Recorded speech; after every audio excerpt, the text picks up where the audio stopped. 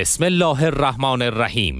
بدین وسیله به اطلاع بینندگان محترم میرسانیم که موضوعات مطرح شده در سلسله جلسات علمی در شبهای ماه مبارک رمضان توسط حضرت آیت الله العظما سید صادق شیرازی صرفا جنبه علمی دارد و در جهت نقد و بررسی مسائل فقهی می باشد لذا نظرات مطرح شده به عنوان فتوا و دیدگاه ایشان تلقی نمی شود لازم به ذکر است مؤمنین گرامی می توانند جهت آگاهی از فتاوای ایشان از راه های ارتباطی زیر استفاده کنند. مراجعه و یا تماس با دفاتر مرجع عالی قدر. مراجعه به نمایندگان و یا رساله عملیه معظم الله مراجعه به پایگاه های اطلاع رسانی و همچنین صفحات رسمی دفتر مرجع عالی قدر.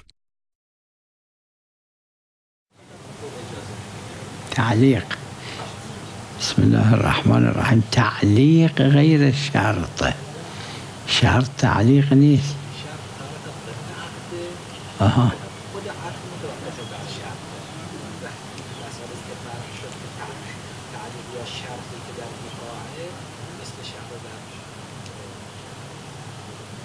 عقد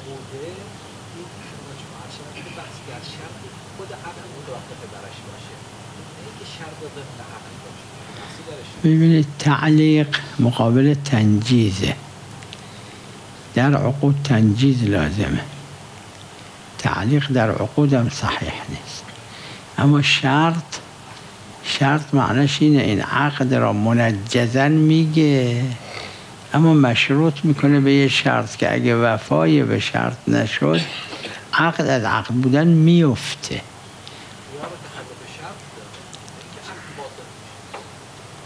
یه جاهای باطل میشه جاهاش فرق می‌کنه. یه جاهاش خیار داره عیبی نداره. اما همین چیزی که در عقد صحیحه به دلیل الخاص در ایقاع صحیح نیست. دلیل خاص داره اگر نه چه فرق می‌کنه؟ عقد و ایقاع. از نظر عقلا مسئله نیست اما احکام را از عقلا که آدم نمی‌گیره از شرع باید بگیره. یعنی میگه بعت که هذا کتاب یا میگه اعتقت که به این عبده از نظر عقلایی فرق نمی‌کنه بگه بعت که هذا کتاب به دینار به شرط اینکه فرض کنید برای پدرم یه ماه روزه بگیری. یا بهش میگه اعتقت که به شرط اینکه یه ماه برای پدرم روزه بگیری. اون در دویم نمیشه از نظر عقلایی فرق نمی‌کنه. اون مسئله دیگه اصلا از اول عتق صحیح نیست. چه روزه رو بگیره چه نگیره. آها. یا عبده اصلا درست نمیشه اصلا. اصلا. اصلا در بیع میشه. اما در عتق نمیشه. همین. دلیلش چیه؟ دلیلش دلیل شرعیه. دلیلش اجماع است ارتکاز است. این چیزا که اگر چه فرق می‌کنه؟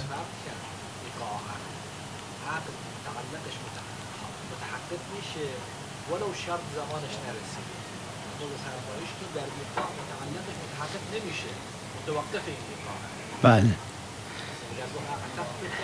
نه نه فرق نمی‌کنه. حالا یه سال دیگه یا همین الان. عرض اینه از نظر عقلا ایقاع عقد چه فرق می‌کنه؟ فرق نداره. فقط شارع فرق گذاشته بین عقد و ایقاع. با اینکه المؤمنون عند شروطهم مطلق نمیگه توش عقد فقط. المؤمنون عند شروطهم. چرا نمی‌گیره ایقاعات را المؤمنون عند شروطهم؟ لفهم فقها که یا ارتکاز متشرعه یا اجماع یا هر چی که در ایقاعات نمیاد. ایقاع عقد فرق نمی کند از نظر عقلا در شرط. اما فرق می‌کنه از نظر عقلا از نظر شارع. ایقاع واقع نمیشه شرط درش در عقد واقع میشه. یعنی فارق دلیل شرعیه. اگر نه خودش چه فرق می‌کنه؟ این ایقاع هم انشاء عقد هم انشاء. فقط عقد طرف داره ایقاع طرف نداره. طلاق عتق ایناست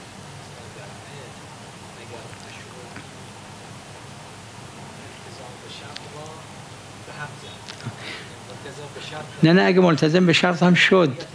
اگه ملتزم هم شد به شرط واقعا نمیشه. هم ایقا واقعا نمیشه. نه نه. واقعا یعنی عقلا عقلا فرق نمیدارن. اما عند شارع شارع گفته قبول نیست یعنی از ادله فرداشت شده. یعنی ببینید حتی اگه قبول کنه حتی بهش بگه من بزنه میگه من تو را طلاق میدم که هم به شرط اینکه الان یک سوره قرآن برای پدرم بخونی این طلاق واقعا نمیشه. و الان هم شروع کنه به سوره قرآن خوندن. مشکل کجاست؟ فارق بین عقد و ایقاع کجاست؟ فارق دلیل شرعی. که شرط در ایقاعات نمیاد اینو دارن. حالا چه طلاق باشه چه عتق باشه چه ابراع باشه چه هر چی باشه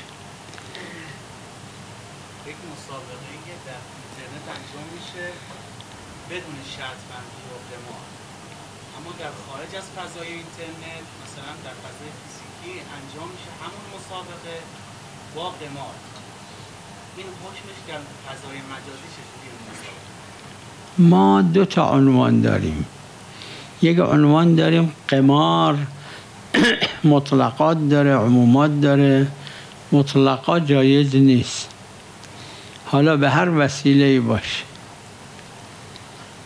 یه عنوان دیگه داریم چیزهایی که عادتا یتقامر به این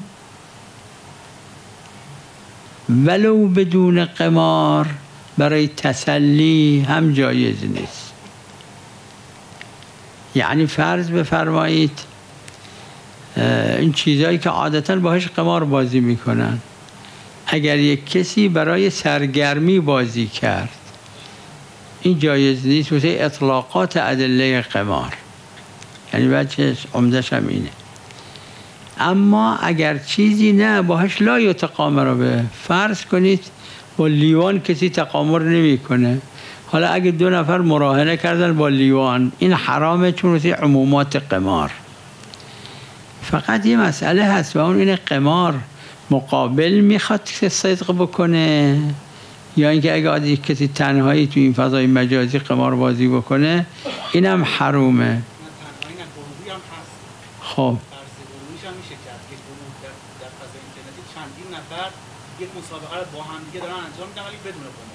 نه نه ببینید برد و باخته یا برد و باخت نیست. نه پول نمیدن اما برد و باخت هست. قمار یعنی تقامر. حال پول لازم نیست. ببینید اگر تقامر هست یعنی برد و باخت با یک وسیله ای که عادتا بدون پول باهش بازی نمی کنن عادتا با پول بازی می‌کنن. این اگه شد این جایز نیست. چون عمومات قمار میگه قمار دیگه. چیزی که یتقامر بهی عادتا فرق نمی‌کنه تو فضای خارجی باشه یا فضای مجازی باشه. بله. بله بله. ظاهرا اینجوری یعنی ما دو تا چیز داریم. یک عناوینی که قمار باهش بازی میشه.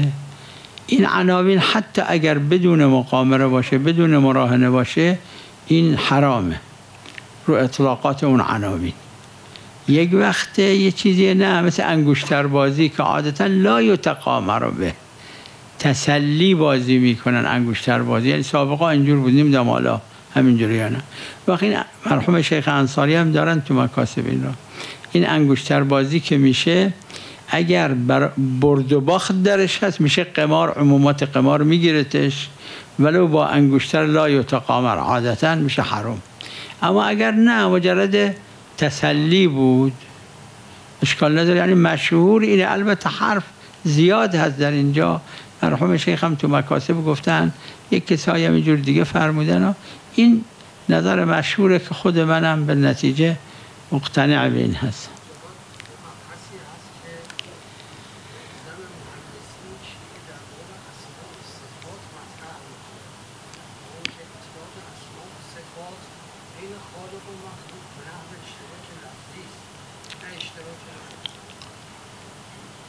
هست اگه از منابش به نحو اشتراک معنوی بشه لازمش نیست که قدیم حادث بشه. نسبت به صفات ذات هر صفات ذات رو باید تنزیه از تشکیل کرد که هیچ وقت از تعطیل خارج کرد تنزیه از تشکیل کرد. اومده تو از صفاتی که در افعال اطلاق اسماء صفات در افعال بعضی از انواعش هیچ گونه شباهت به مخلوق نداره. اونجا هم باید از تشبیه بشه. تا اینجا درست. زیاده بر صفت باشه چه به نحو تقابل باشه چه بله. به نحو تضاد باشه. تا اینجا درست. حالا سخن در اینه که آیا شدت و ضعف یعنی کمیت و کیفیتی که در اسماء و صفات هست آیا اینا رو میشه یعنی در صفات افعال آیا میشه اطلاق به غیر خدا کرد؟ آیه سحری که خوانده میشه تمامش با افعال و تفضیل و شدت ضعف به کار برده شده. میشه اطلاق کرد همون جوری که در الله اکبر امام معصوم علیه السلام فرمود که نمی‌تونه شما الله اکبر رو معنا بکنید به این که یعنی خدا برتر است از همه شی. همه چیز. بلکه اونجا باید بفرمایید اکبر من یوسف یعنی باید تنزیه بکنی از تشبیه آیا این صفاتی که در قرآن سهر هست میشه اطلاق به امیر المؤمنین کرد ببینید یه مرجع تقلید شهریه میده. یک مثال خارجی. یه دونه نماینده ای داره. این از قبل این مرجع تقلید شهریه میده. پول را اون آقا میده. این نماینده مجرد واسطه است. یه وقت خود این مرجع تقلید به یه دونه کسی کل صلاحیات را میده. میگه این پول شهریه به هر که خواستی بده. به هر که خواستی نده به هر که خواستی هر چقدر می‌خوای بده به هر چی خواستی کم بده زیاد بده بده نده. این حق داره یه همچی کاری بکنه یه نفر را تشخیص میده که این مثلا اونجوری که خودش می‌خواد انجام میده یاد گرفته. مانعی نداره. اما فرق بین اون مرجع تقلید و اونی که داره میده گرچه هر دو تمام صلاحیات را دارن. اما مرجع تقلیده اصل و این فرعه. ها نه ذات. نه نه. نه نه نه. الان اجازه. در صفات ذات شکی نیست بحثی هم نیست. فحص در صفات افعاله. مثل خالق و رب و امثال اینها. تو روایت داره ان الله ادب نبیه به ادبه ففوضه فوضه تو اون آیه شریفه دیگه چیه؟ یا آیه شریفه دیگه داره که می‌خوای منع کن می‌خوای. بله. یا آیه دیگه هم داره روایات هذا عطاؤنا فمنن او امسک به غیر حساب. اونم خدا میگه به غیر حساب. خدایی که به غیر حساب میفرماد در این چیزها مانع نداره. وقت این متواتر تو روایات و ادعیه و اینها هست که نمی‌خواد. انسان احتیاج نداره به اینکه بخواد بررسی کنه که این سندش درسته معصوم فرموده نفرموده. لا فرق بینک و بینک و بینهم الا انهم عباد. اون صحیحه داره در زیارت امام حسین علیه السلام. که شیخ صدوق فرموده این اصح زیارت امام حسینه. بله ارادت الرب فی مقادیر امورهی جمع مضاف. اونم امور خود خدا نه امور خلق. فی تهبط الیکم و تصدر من بیوتکم. معصومین همه چیز را خدا در اختیارشون قرار داده اما از خودشون هیچ ندارن. غیر از خدا دادی. خدا همه چیز از ذات خودشه. اما به این چارده تا به این چارده نور پاک همه چیز را داده. اون چه خدا اراده دارد در تمام تقدیرهای امور خود خدا. یعنی ما سوا الله. تهبط الیکم و تصدر من بیوتکم. مانعی هم نداره این گیری هم نداره. وقت فقط چیزی که همین فرقش یه فرقه که این فرق خودش کل شیعه. و اون این اون خدا خداست واجب است. اینا مخلوق هستن اینا عبد هستن اینا برده اون خدا هستن. اما خدا جوری اینا رو تربیت کرده که تمام صلاحیات رو داده. آدم بگه یا امام رضا علیه السلام شفیع بشید شما اون چی که من از خدا می‌خوام شما همونو بگید خدا بده به این. شفیع معنیش اینه. یعنی اونی که من عرض می‌کنم خدایا بده به من ایمان بده عمر بده عقل بده علم بده. یا امام رضا شما بگید خدایا منم همینو برای این می‌خوام. یا اینکه بگیم یا امام رضا خدا همه چی به شما داده. شما عقل بده شما علم بده شما پول بده شما ایمان بده شما. فرقی نداره. چون خدا این صلاحیات را بهشون داده و فرق هم نمی کنن این چارده معصوم. خاص به این چارده معصوم هم هست. پونزه همی هم نداره. انبیا حضرت ابراهیم خلیل الرحمن علیه و علی نبینا و علیه السلام با تمام مقام و عظمتش بقیه انبیای اولوالعظم اینجور نیستن. نداریم نسبت به اونا. اونا درجه بعد هستن. اما ادله متواتر ما داریم. اشکال عقلی هم نداره. اشکال عقلایی هم نداره. مانعی هم نداره. یعنی یه وقتی یه چیزیه یه اشکال عقلی داره آدم نمی‌تونه ملتزم بشه. عقل خود خدا خلق کرده. لحاظا اونایی که صفات ذاته جای هیچ بحثی نیست. و اگرم توی دعاها زیارتها تو روایت های چیزی صفات ذات اومد اونو باید تعویل کرد. شکی نیست.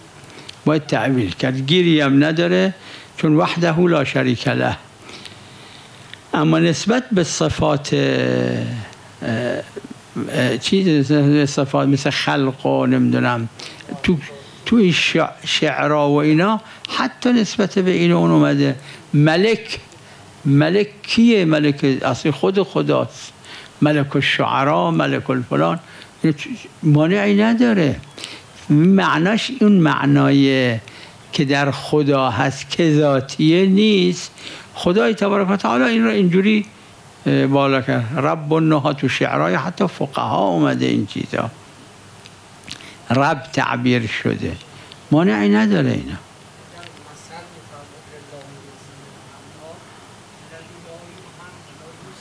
بله. آها اینا مر... اینا اینا قد عقلای افراده.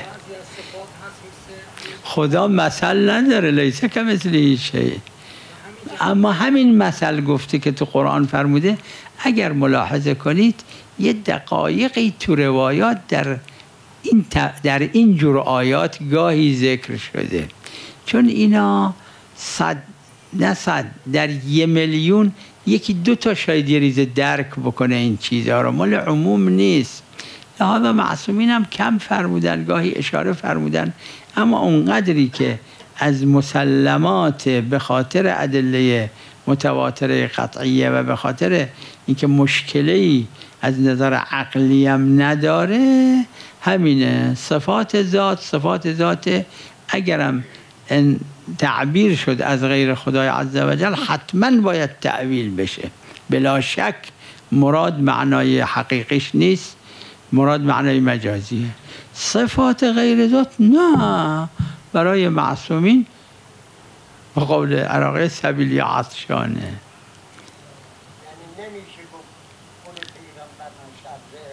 چرا؟ همین ان الله ادب نبیه به ادبه ففوض الیه دینه. عرض کردم مثل مرجع تقلید به شخصی که صد درصد مورد اعتمادشه میگه این پولو بگیر. به هر که خواستی شهریه بده به هر که خواستی نده به هر که خواستی زیاد بده به هر که خواستی کم بده. اما این هیچ کار است ذاتن هیچ کار است. پول اونه. چون اون این صلاحیت رو بهش داده وقت شما برید به مرجع به این شخصه بگید که بگو به مرجع تقلید انقدر به من بده یا شما به خودش بگید خودت بده به من. چون او آقا به شما صلاحیت داده خودت بده به من.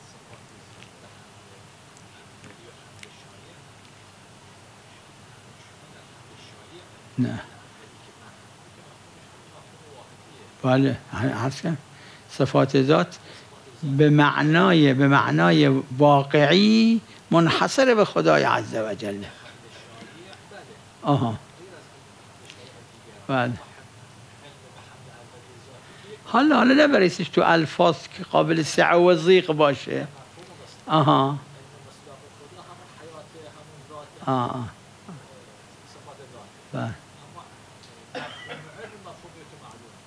علا کلن خلاصش همینه که بله حاصلش اونه که برداشت میشه از ادله این که صفات ذات هیچ جای بحث نداره. هر جام اگر گفته شد مثل ان الله علی العرش استو... ان الله علی العرش استوا که این چون مخالف عقل بخوایم استوای به معنای عرفی را بگیم حتما تعویل می‌کنیم.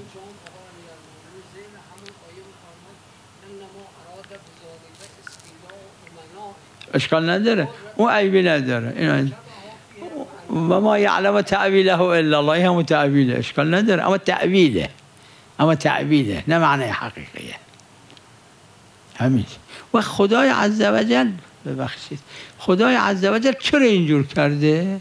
به خاطر که می‌خواد بنده هاش امتحان کنه تا اونایی که با قابلیتن اونا برن توی بهشت جلیس انبیا و اولیا بشن. مثل که خدا چرا شیطون رو خلق کرده؟ با اینکه می‌دونه شیطون چه مفاسدی درست می‌کنه. خدا چرا نفس اماره به سوء تو افراد خلق کرده؟ با اینکه خودش می‌دونه چه مفاسدی درست می‌کنه. اما خاصه که امتحان کنه نفس اماره و شیطون رو خلق کرده و می‌دونه میلیاردها میلیاردها آدم رو جهنمی می‌کنن. اینا می‌دونه خدا. از اون ورم عقل و در داخل و انبیا رو از خارج قرار داده لیهلک من هلک عن بینه فمن شاء فلیؤمن و من شاء فلیکفر خدا قدرت همه چی داره اما الزام نکنه می‌کنه کسی را به ایمان. فمن شاء فلیؤمن و من شاء فلیکفر برای چی؟ برای اینکه چون اینجا دار امتحانه. اون وقت عقل خلق کرده مراتب برای عقل خلق کرده شهوات خلق کرده مراتب برای شهوات خلق کرده شیاطین خودش خلق کرده قدرت ها این شیاطین فرق داره. روایت داره به پیغمبر اسلام صلی الله علیه و آله یا بعضی انبیای دیگه ایزن ایزن روایت داره. گفتن که شما هم شیطان دارید. گفتن بله اما شیطانی فسل سلم علی. در پیغمبر اسلام هست در غیرشون صلی الله علیه و آله مجمعین. اینا رو همین وقت چیه فلسفه این؟ فلسفه است همین که خدا می‌خواد امتحان کنه. لننظر کیف تعملون. ببخشید بله بفرمایید اما در بقیه ایقاعات اصلا بعضی بناش بر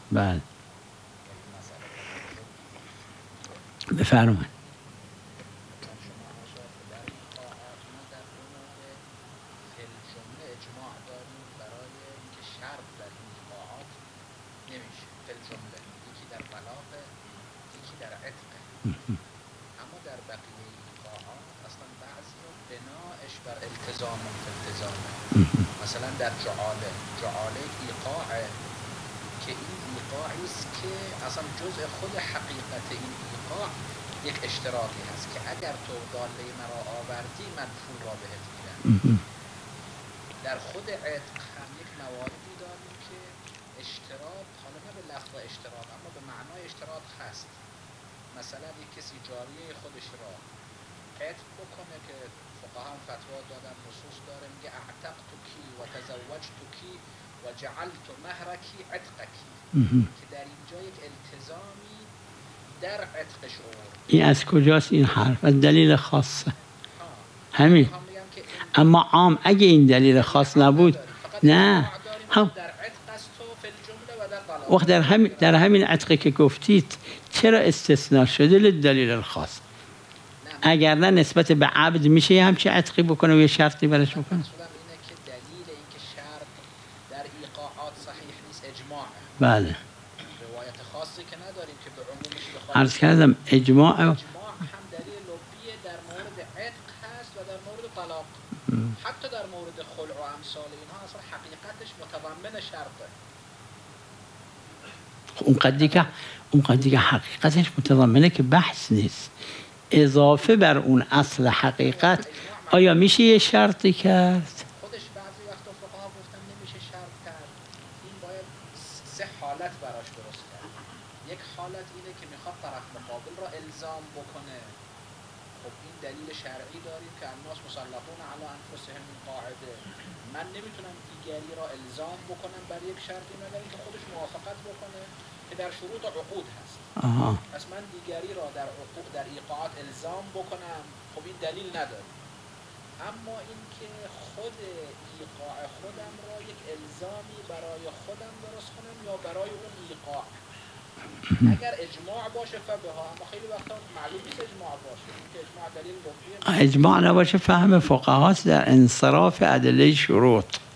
اینم یکیه خودش. یعنی المؤمنون عند شروطهم. این کجاش داره که ایقاع نباشه؟ اطلاق داره. اما فقها فهمیدن که این خاص به عقوده. و این فهم فقها همجور که دیشب و قبلش عرض شد حجیت داره لذا مواردی هست که شاید اصلا بشه گفت که حتما باید ملتزم شد مثلا در خلع اگر زوجه و زوج بخوان اتفاق کنن بر طلاق خلعی خب این یک قسمتش عقد قسمتش ایقاع یعنی نتیجه عقد نتیجه ایقاع خب اگر این زوج وقتی که می‌خواد خلع را اجرا بکنه اشتراط بکنه که من از طرف توی زوجه وکیل باشم در استرجاع بعد که طلاق منع- منقلب به رجعی بشه. آها. یعنی بالا بالا دید. اگه دلیل داره اگه نه نه. خود یعنی اینایی که. میفرماد. این را این را هم شیخ در شروط ذکر کردن هم توی شروع حواشی مکاسب مفصل بحث شده. به نتیجه بحث هست یه استثناءاتی هم داره یه خلافایی هم داره مسئله. اما نه مسئله ببینید مسئله عقلی نیست که ما با مسئله شرعیه. ما باید ببینیم دلیلی که می‌گوید شما حق دارید شرط کنید در چیه؟ اون دلیل چقدر سعه داره؟ دلیل اطلاق داره. المؤمنون عند شروطهم. عقد و ایقاع می‌گیره. فقها یعنی این یک یه جزءشه فقها گفتن این خاص به عقوده و فهم فقها حجته. بله یه جاهای استثنایی هست. تو روایت خاص اونجا را استثناء کرده. آه. خود عید در مکاتبه اصلا خودش شرط در ضمنش هست اصلا چیه؟ یعنی اکثر ایقاعات قابل اشتراط هستش معلوم نیست اجماع درش باشه فقط این دو مورد که عرض شده که طلاق فی الجمله یکی هم اه، خود مکاتبه دلیل خاص داره. همین. همین اشکال نداره اشکال نداره. معلوم نیست اکثر بشه. یعنی میفرمایید شما ما باید بررسی کرد. لحاظا بنای فقها غالبا بر همینه. ولی اینم سرخط مسئله شروط توی مکاسب غیر مکاسب داره که المؤمنون عند شروطهم اطلاق داره. فقط خاص با اینکه اطلاق داره خاص به عقود است. نه ایقاعات. بله ان قتل قول داره یه ایقاعی استثناء شده فلان ایقاع یه روایت خاص داره. اما ایقاعات علا کثرتها اوناییش که درش میشه شرط کرد آیا اونا اکثر هست؟ یعنی تعامل موردی شک کردیم در اینجا باید به المومن عند شروطه هم تمسک کنیم چون که تخصیصش به اجماع شده در مورد شک معناش اینه که ما شک داریم که اجماع هست خیلی خوب گفتید خیلی خیلی خوب گفتید. اما همین فقها فهمشون این است که این خاص به عقود نه ایقاعات مطلقه الا ما خرج بالدلیل. مثل خود عقود که المؤمنون عند شروطهم درش میاد یه استثنایی داره یه مواردی داره مثل کل ما من عامل الا وقت خص. اما خص تیتر مسئله عنوانش این است که شرط در شرط به ما له من المعنا المتبادر و المتفاهم عرفا شرعیا. این شرط در عقود هست نه در ایقاعات بله فلان جا استثناست فلان جا محل خلاف فلان کس ایقاع اینجور بیان کرده یعنی موضوع ایقاع را عقد را اینجور بیان کرده کجا است؟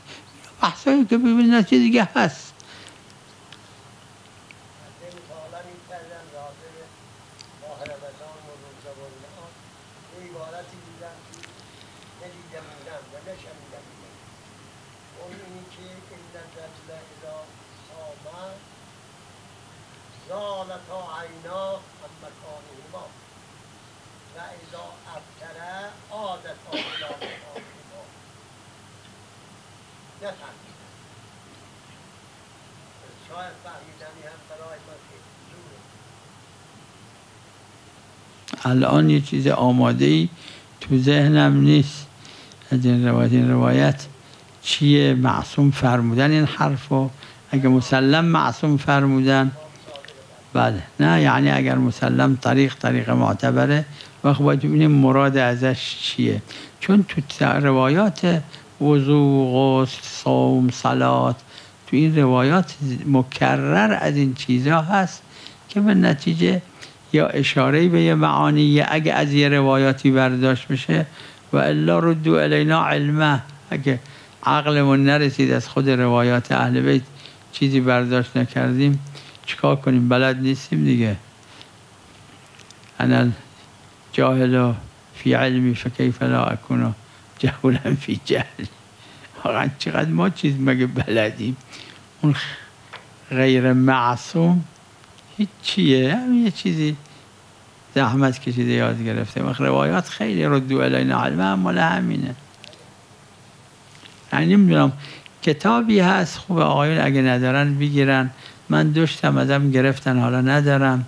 کتاب بسیار خوبی است. البته بعد از بحار علامه مجلسی رضوان الله علیه که خیلی چیزای این کتاب از بحار گرفته شده اما اضافه هم داره مرحوم اسد عبدالله شبر یک کتابی دارن چی اسمش فی حل مشکلات الاخبار. مصابیح الانوار فی حل مشکلات الاخبار. ایشون یه مجلسی دوم بوده بعد مجلسی.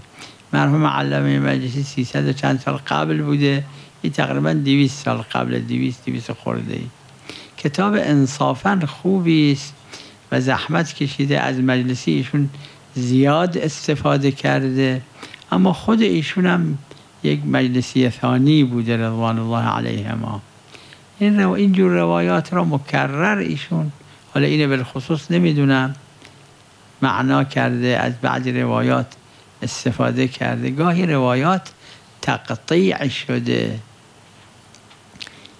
بله یه روایت از روایتی که تقطیع شده که یه آقای نقل می‌کرد یک کسی اینجور می‌کرد.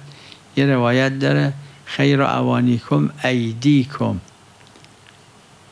بهترین ظرف های شما دست شماست. می‌گفت فلان شخص یه شخصی رو اسم میورد که اونم فوت شده. می‌گفت مقید بود تو ظرف و تو لیوان و تو اینا آب نمی‌خورد. آبو میریخت تو دستش تو دستش می‌خورد.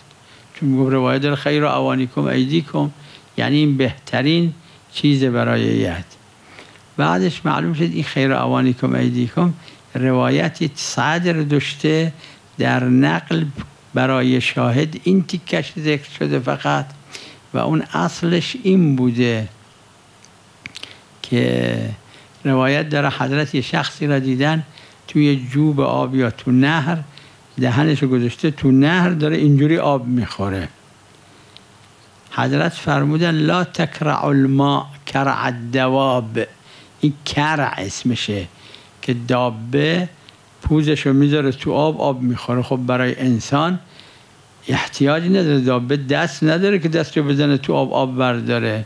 وقت این آبی که جاریه خب ممکنه حشره ای توش باشه ممکنه یک قدارت توش باشه. وقتی که دهنش تو آبه چشمش نمی‌بینه. اما حیوان اولا براش مسئله ای نیست. ثانیا یعنی که رای نداره دیگه غیر از این. حضرت فرمودن لا تکرع این کرع در عربی اصلا دهنش رو تو آب بذاره اینجوری آب بخوره اینو کرع میگن. فرمودن لا تکرع الماء کرع الدواب فان خیر اوانیکم ایدیکم. دست که داری دست بکن زیر آب بردار بخور. این خیر در این حالت به این قرینه است. بر اینکه مطلق این معناش این نیست که وقتی که لیوان و ظرف هم دارید با اون لیوان و ظرف آب نخورید آب بریزید تو دستتون با دستتون بخورید. این قرینه درست. گاهی روایات تقطیع شده حالا به هر جهتی. و این مجهولی ها درش پیدا شده.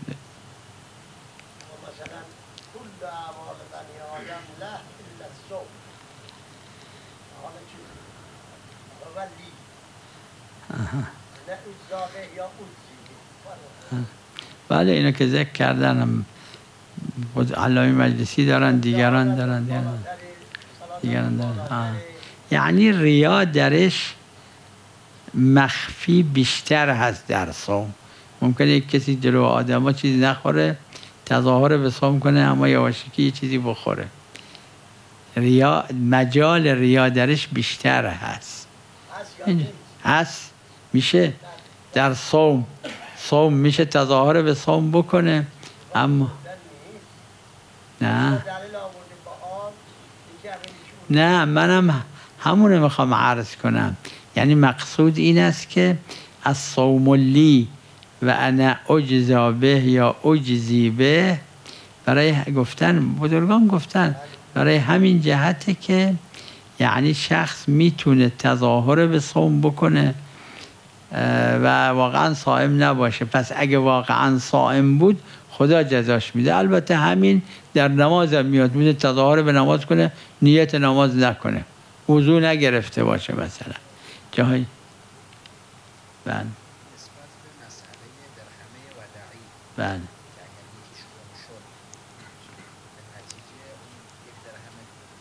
تقسیم می‌کنه. بله. بله. بله.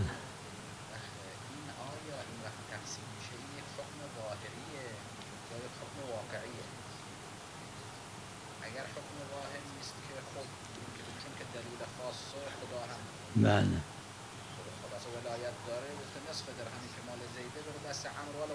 مسئله در اینه که همین در اصول ذکرش می‌کنن اگر این دو درهم اجتماع پیدا کرد میشه یک شخص طالب. بله همین. شیخ دارن میگن اشکال نداره. این در اینجا دارد که نصف درهم از غیر مالکش بشه. بله. اون مالک دوتایشون هم میگن اون چیزی راضی نیستیم. راضی نیستیم. این همین این- شیخ دارن دیگران دارن متذکر شدن که اگر امر دائر شد بین موافقت تفصیلیه و مخالفت تفصیلیه معا یا مخالفت اجمالیه فی الطرفین. شخص هیچ راهی نداره یه درهم یا مال زید کلش یا مال عمر کلش. اگر به زید بدیم این را احتمال داره واقعا مال زید بوده همشو به زید دادیم. احتمال هم داره. مال عمر بوده همش را از عمر محروم کردیم. موافقت احتمالیه فی الکل تعارض اگه پیدا کرد نه تعارض تزاحم این. چون اصطلاحا چون ما نمی‌تونیم چون نمی‌دونیم. یا اینکه نیم درهم به این بدیم نیم درهم به اون. که قطع داریم نیم درهم را به غیر صاحبش دادیم اما نیم درهم را قطعا به صاحبش دادیم. شیخ فرمودن یا عده دیگه فرمودن بحث علمی محل خلاف هم هست. اما به نظر می‌رسه فرمایش شیخ منم برداشتم همینه که علم تفصیلی در بعض و مخ... يعني موافقة تفصيلية في البعض. مع المخالفة التفصيلية في البعض از نظر عقلا أولاس از موافقة احتمالية في الكل مع احتمال المخالفة في الكل يعني اگه ما باشیم خود این روایت طبق بنای عقلام هست. یعنی وقتی که اومدن به یه پولیه یه خانه یا مال شماست یا مال زیده همش. به عقلا بگن ما چیکار کنیم؟ هیچ راهی هم نداریم. این دو نفرم میگن ما راضی نیستیم اگه چیزی مال ما باشه به کسی دیگه بدید. عقلا چه کار می‌کنن اینجا؟ حالا ما در دو تا چیز ودعی حالا دو دینار یا درهمه چند تا روایت داره یکیش دینار داره شاید هم یکیش درهمه که این بخوان همه خونه رو به یکی بدن حجتی هم نیست بیانه هم نیست. هیچ کدومشون هم قسم نمی‌خورن چون میگه نمی‌دونم من واقعا چیه. وقت همه رو خونه رو به یکی میدن ممکنه که هیچ مالش نباشه ممکنه همه خونه مالش باشه. یا تقسیم می‌کنن. این مکرر توی کربلا و نجف این اتفاق افتاد مکرر مسئله میپرسیدن. اومده طرف یکی از خدام حرم حضرت امیر علیه السلام خدام ائمه دیگه است می‌گفت که یک کسی اومده یک گوسفند آورده. گفته که من قبلا اومدم مثلا اولاد نداشتم یکی از این خداما به من گفته نظر من بکن یه گوسفند اگه خدا بچه بد داد. حالا بچه خدا بهش داده و اومده. میگم نظر کی کردی؟ میگه نظر سید محمد کردم. پنج تا سید محمدن. میگه نمی‌دونم کدومش. خود اینام نمی‌دونم این گوسفند چیکار کنم مال یه دونه از ایناست. نظر کرده این گوسفند را به اونی که بهش گفته نظر من کنی یه گوسفند. چیکار کنی؟ باید پنج قسمت به پنج تاشون بده.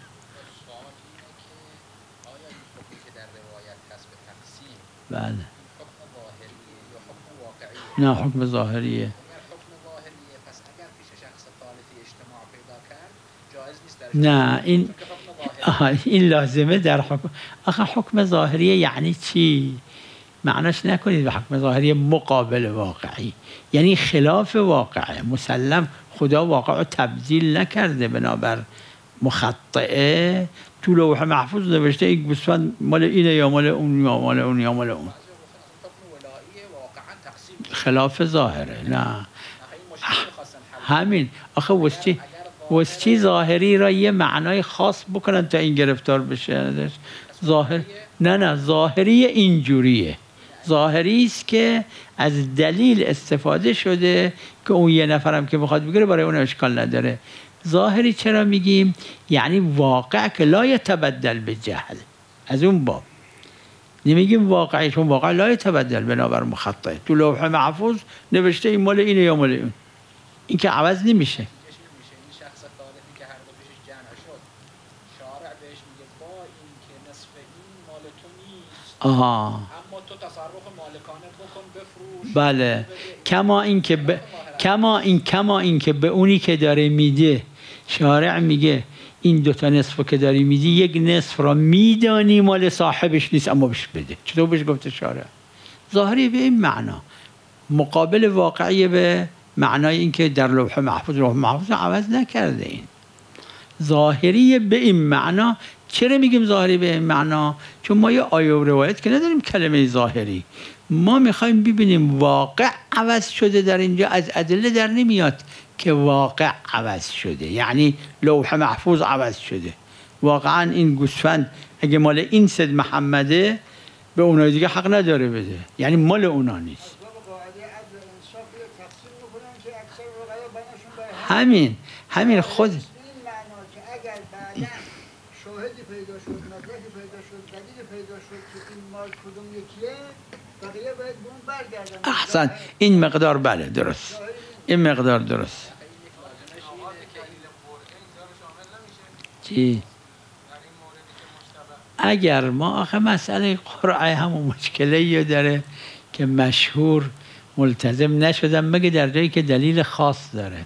اگر نه عمومات قرعه اگه بگیره همجور که فرمودن باید ما هم اصول عملیه رو کنار بذاریم هم قواعد دیگر رو کنار بذاریم لذا گفتن عمل می‌خواد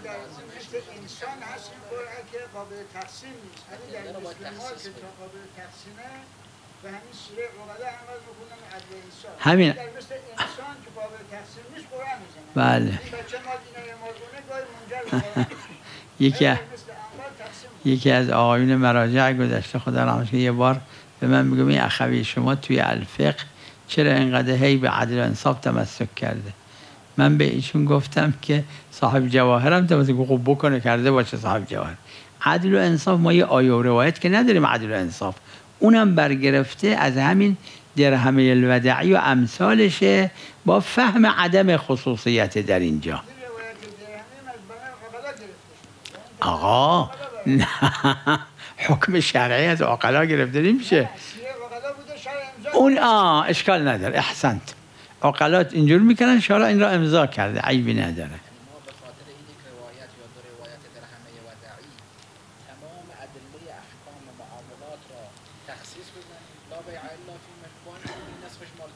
آه. بله بله. بله. همین همین عرایزی که دیشب کردم و خوندم تمامش تخصیص می‌خوره بلا اشکال لفهم الفقها. مگر شما بگید که چون مشهور این رو فهمیدن این برداشت رو کردن. البته صاحب جواهر نسبت به شهرت میده. من خودم شخصا نمی‌خوام به شهرت نسبت بدم. اما بسیاری از فقها اصلا قاعده عدل و انصاف ریشش همینه. چون قاعده باید از شرع گرفته شده نه ولایی خلاف اصله. آها نداریم ما حکم, حکم ولایی نداریم الا نادر. معصومین بیان شرع می‌کنن. بله مگه یک جایی بالخصوص دلیلی باشه بر اینکه دلیل نداره نه. این مقدار کافی برای کشف این مطلب نیست. یعنی خدا لوح محفوظ عوض می‌کنه که واقعا این که مالک نی میشه مالک. از این ادله در نیمد یعنی قانون تخطئه که بنای ائمه علیهم الصلاة و السلام اون چه که فرمودن نسبت به شیعیان شیعیان تخطئه تعبیر می‌کنن حکم فی اللوح المحفوظ یکیه موضوعی. آه. خب.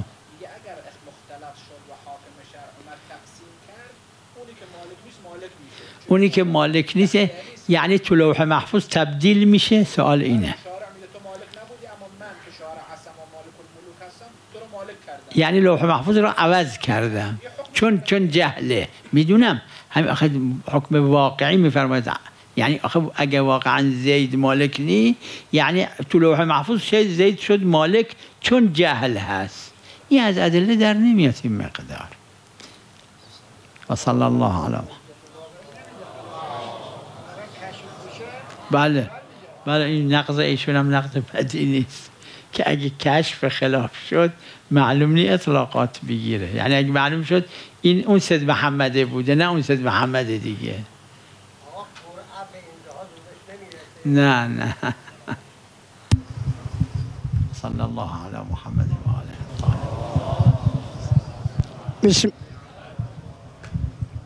بسم الله الرحمن الرحيم. إليكم كل مكرمة تؤول.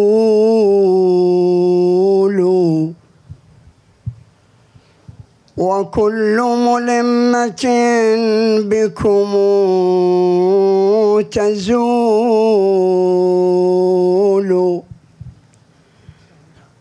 كفاكم يا بني الزهراء قدرا. إذا ما قيل جدكم الرسول. أبوكم فارس الهيجاء علي.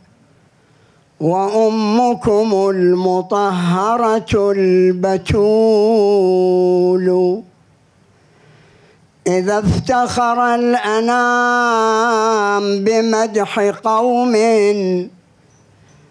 فبالقرآن مدحكم جميل. فأنتم مأمن اللاجي إليكم بخدمتكم تكفل جبرائيل. أكون نزيلكم ويضام قلبي. وحاشا أن يضام بكم نزيل.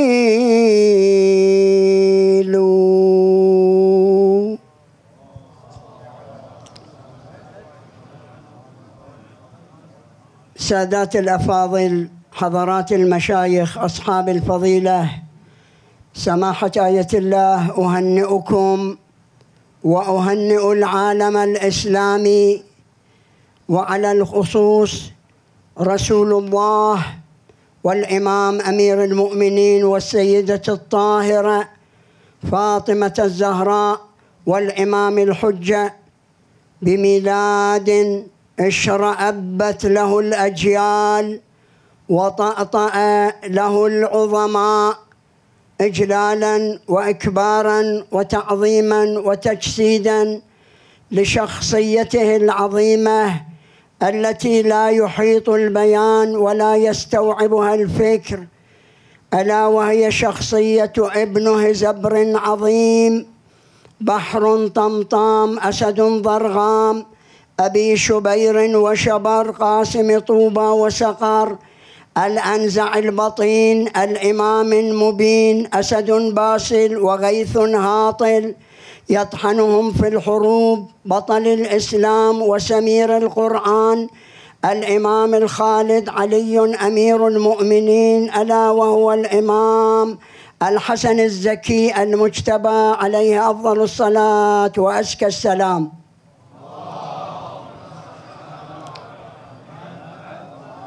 وبهذه المناسبة السعيدة والليلة المباركة ليلة النصف من هذا الشهر العظيم المبارك أقدم مقطوعة شعرية سائلين من الله أن يرزقنا في الدنيا زيارته وفي الآخرة شفاعته ما أحلى هذه الليلة ما أحيلى هذه الليلة ليلة ميلاد الإمام المجتبى كم أطلقت من السعود كوكبا.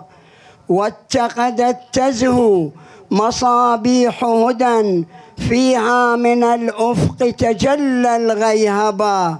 في ليلة جل عظيم قدرها كليلة القدر استطالت رتبا. أنزل جبريل بها مبشرا طه بمولود إليه انتسبا. خاتم رسل الله جمعا جده وأكرم العالم أما وأبا.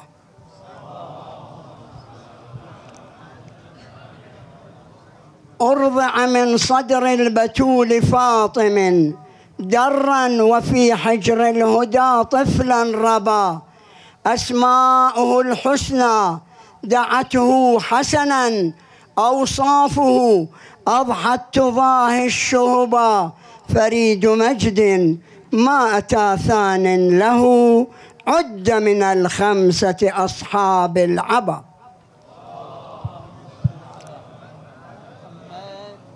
برأه من كل عيب ربه معصوم بالعصمة الكبرى. برأه برأه برأه من كل عيب ربه فشب بالفضل فتى مهذبا. يا أيها الغافل عن ذكر فتى أراه علم الغيب شيئا عجبا. فسل إذا ما كنت لا تعرفه عن فضله صحف الهدى والكتب تنبئك عنه إنه مفضل. طال أولي العزم جميعا نسبا يا سيدا له عبيد ذللت عزته عجم الورى والعربا كريم أهل البيت. من أسماء وألقاب الإمام الحسن كريم أهل البيت. كريم أهل البيت من ناء له أخرج في جو السماء السحبا إذا اليتامى ذهبت لبيته طوق بالمن طلاها ذهبا. من عده المطلاق لعنهم الله. اتهموا هذا الإمام أنه كثير الزواج وكثير المطلاق. وفي هذا المصرع أضرب في على أفواههم. من عده المطلاق في تزويجه قد افترى عليه كذبا ونبا. يا حبذا من زار شوقا قبره وللبقيع من علاه اقتربا. تعدل ألف حجة زورته تعدل ألف حجة زورته. وذاك صدقا قلته لا كذبا فهو الشفيع المرتجى. يوم الجزا ينجي غدا من العذاب المذنبا وأما أعداءه الذين خذلوه الذين اتهموه وعلى رأسهم اللعين معاوية أما يخافون الذي دمر عادا وسبا وإن من أعمالهم قد بلغ السيل الزبا. وهذه أرجوزة قلبي بها ترتبا بها القريض قال لي هجاؤهم قد وجبا لأنهم ليسوا من القوم الكرام النجبا بل إنهم من معشر يستذقون الكذبا رئيسهم معاوية أصبح يحكي خزبا بفعله. وقوله يا عجبا يا عجبا بفعله وقوله يا عجبا يا عجبا. وختاما أود لكم الطراد الخير والسرور والسعادة وأسأل من الله أن يعجل فرج إمام زماننا ويتقبل منا هذا القليل ومن جناب المؤسس بأحسن قبولك وأن يرحم أمواتنا ومن سلف من هذا البيت المقدس. والمؤمنين والمؤمنات جميعا نهدي لهم ثواب الفاتحة مع الصلوات.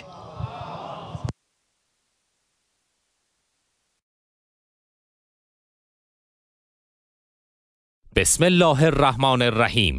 بدین وسیله به اطلاع بینندگان محترم میرسانیم که موضوعات مطرح شده در سلسله جلسات علمی در شبهای ماه مبارک رمضان توسط حضرت آیت الله العظما سید صادق شیرازی صرفا جنبه علمی دارد و در جهت نقد و بررسی مسائل فقهی می باشد لذا نظرات مطرح شده به عنوان فتوا و دیدگاه ایشان تلقی نمی شود لازم به ذکر است مؤمنین گرامی می توانند جهت آگاهی از فتاوای ایشان از راه های ارتباطی زیر استفاده کنند. مراجعه و یا تماس با دفاتر مرجع عالی قدر. مراجعه به نمایندگان و یا رساله عملیه معظم الله مراجعه به پایگاه های اطلاع رسانی و همچنین صفحات رسمی دفتر مرجع عالی قدر.